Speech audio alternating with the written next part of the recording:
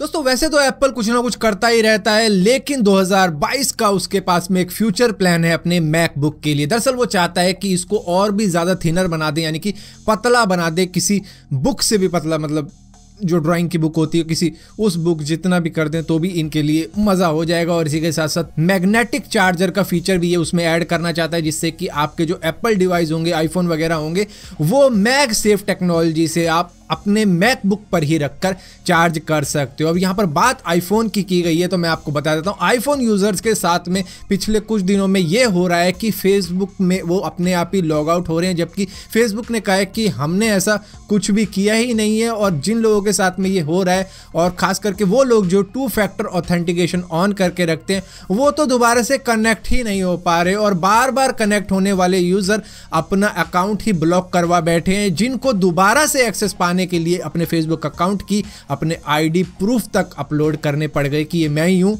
जो लॉगिन करने का ट्राई कर रहा था और दोबारा से मुझे एक्सेस दी जाए अपने अकाउंट की। और अभी भी फेसबुक इसको फिक्स नहीं कर पा रहा है, जिसके लिए उन्होंने कहा है कि हम इसको रिजॉल्व करने की कोशिश कर रहे हैं, अभी भी देख रहे हैं कि क्या पंगा क्या हुआ है। और मे बी इसके साथ में जुड़ी हो सकती है वो कड़ी जो कि एप्पल की प्राइवेसी पॉलिसी को लेके थी, क्योंकि उन्होंने प्राइवेसी पॉलिसी कुछ इस तरीके की करी, जिससे फेसबुक काफ़ी ज़्यादा खफा हुआ था और कहीं उसकी सजा तो नहीं दे रहा। दोस्तों अमेजोन की जो लास्ट सेल थी, जो दिवाली वाली सेल थी, उसके अंदर आईफोन 11 लोगों को काफ़ी सस्ते में मिल गया था, करीबन अड़तालीस हज़ार रुपए में।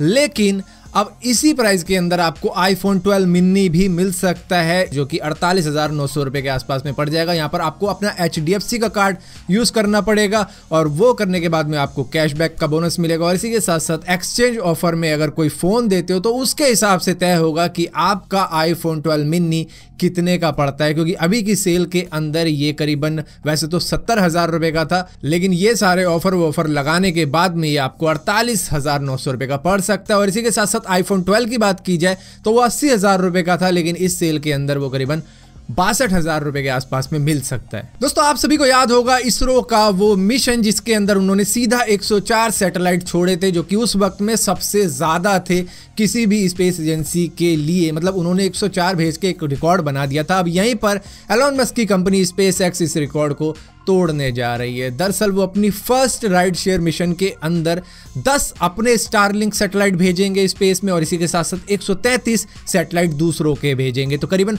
143 सैटेलाइट्स ही एक बार में ही भेजने वाले हैं और ये मिशन इनका करीबन 2.5 मिलियन यूएस डॉलर का है, जो कि आज की डेट में हो जाएगा। अगर यूएस का टाइम देखें, करीबन 9:40 एएम के आसपास, यानी कि सुबह वहाँ की, उस वक्त में ये शुरू कर देंगे अपना ये मिशन और इसी के साथ साथ एलोन मस्क की बात हुई है तो मॉडल थ्री की भी बात कर लेते हैं, जो कि इंडिया के अंदर इस साल आने जा रही है। लेकिन ज़्यादा खुश होने की ज़रूरत नहीं है। ये यूएस के प्राइस से डबल प्राइस में बिकेगी, जो कि करीबन सैंतालीस लाख से लेकर पचपन लाख रुपए तक में बिकेगी, जो कि ऑलमोस्ट डबल ही है और इन्होंने अपना जो सब्सिडरी था, वो रजिस्ट्रेशन करवा लिया है बेंगलुरु के अंदर तो तैयारी फुल है, लेकिन लूटने की।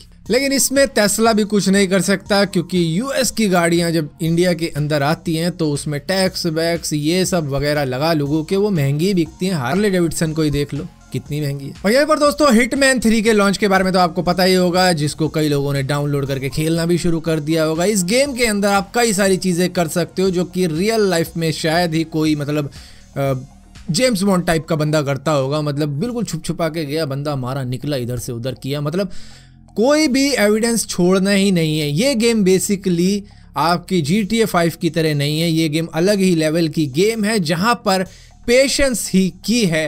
इस गेम के अंदर। मतलब अगर बेस्ट रिज़ल्ट चाहिए तो आपके अंदर पेशेंस भर भर के होना चाहिए और तरीके आपके दिमाग में होने चाहिए कि किस तरीके से अपने टारगेट को मार के निकलना है। दोस्तों टिकटॉक के बारे में हम सभी को पता है कि वहाँ पे क्या होता है और क्या नहीं होता है। दरअसल इटली के अंदर एक चैलेंज चल रहा था टिकटॉक पे, जिसको कहा जाता है ब्लैक आउट चैलेंज इसके अंदर मतलब बंदे को बेहोश होना होता है। फेंटिंग गेम टाइप की ये गेम है, जहाँ पर चोक चोक जिसे कहते हैं मतलब गला दबाना, किसी तरीके से उसे बेहोश होना है। कुछ ऐसी गेम थी जहाँ पर एक 10 साल की लड़की की जान चली गई है। इस गेम के अंदर जहाँ पर वो बेहोश होना चाहती थी, लेकिन सीधा ही निकल चुकी है। तो यहाँ पर इटली में अब इसको बैन करने की बातें हो रही हैं। हालाँकि टिकटॉक ने वहाँ पे किया क्या है कि उन्होंने अपनी तरफ़ से ये कर दिया है कि भैया, जिनकी एज नहीं है, उनको वो निकाल रहे हैं टिकटॉक से। दोस्तों, ऑनलाइन शॉपिंग के अंदर अक्सर आप एक चीज़ देखते होंगे, चाहे आपने फ्लिपकार्ट देखा हो, अमेजोन पे देखा हो, कि प्रोडक्ट के कभी भी एमआरपी दिखाई नहीं जाते कि कितनी उनकी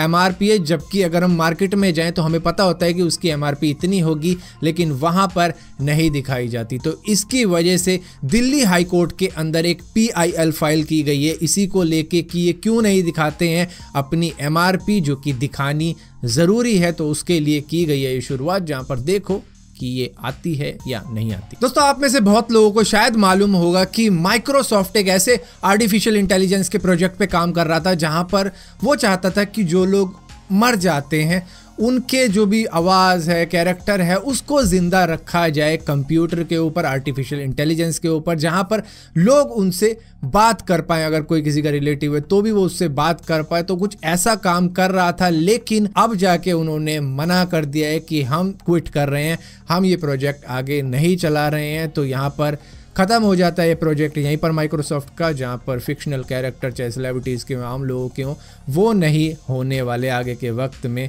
जो हम उस वक्त में बात कर रहे थे कि हाँ जो लोग मर भी जाएँगे, वो भी ज़िंदा रहेंगे कंप्यूटर के अंदर तो ऐसा नहीं होने वाला। और यहाँ पर दोस्तों, आज ओप्पो रेनो 5 प्रो 5G आ चुका है। फ्लिपकार्ट के ऊपर अवेलेबल है, ये खरीद सकते हो तो खरीद लेना, छत्तीस हज़ार रुपए का है।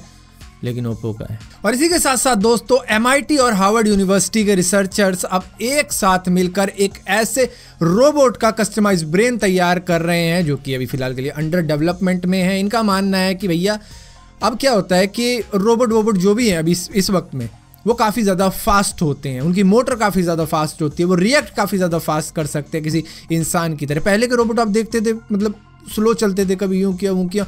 मतलब बहुत ज़्यादा स्लो हुआ करते थे वो। उनका एक्ट बहुत ज़्यादा स्लो होता था। लेकिन आजकल तो ये बैक फ्लिप तक मार देते हैं तो क्या ही इनके कहने। तो इसी वजह से ये एक नए तरीके का ब्रेन तैयार कर रहे हैं जो कि रोबोमॉर्फिक कंप्यूटिंग कहलाएगा। जो कि इनकी मोटर रिएक्शन उसी की कैपेबिलिटी का होगा और तेज़ी से काम करेगा। सो so, फ़िलहाल के लिए दोस्तों इस वीडियो के अंदर इतना ही था। अगर वीडियो आपको पसंद आती है तो इस वीडियो को लाइक ज़रूर करना शेयर ज़रूर करना और यहीं पर कई सारे लोग कहेंगे भाई, दाढ़ी कहाँ गई?